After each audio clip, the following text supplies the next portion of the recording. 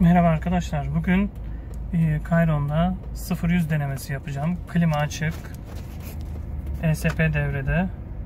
Stok araba ve 0-100. Dip gaz yapıyorum. Başladık.